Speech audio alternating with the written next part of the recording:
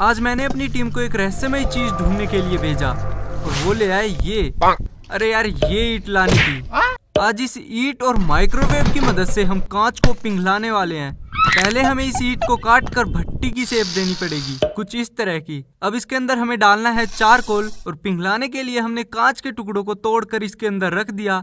और अब इसको सीधा डालना है माइक्रोवेव के अंदर। माइक्रोवेव थोड़े दिन में ब्लास्ट होने वाला है। चलो उससे पहले आपको कुछ कमाल की चीज़ें दिखा देते हैं। अब 20 मिनट के लिए माइक्रोवेव को ऑन कर देना है।